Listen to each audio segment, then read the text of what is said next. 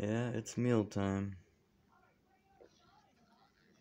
And as you can see, they're both trying to get theirs. Stella, go get some. Go on.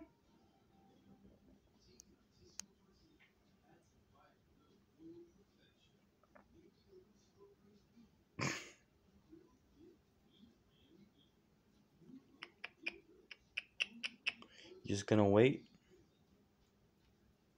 until she's done.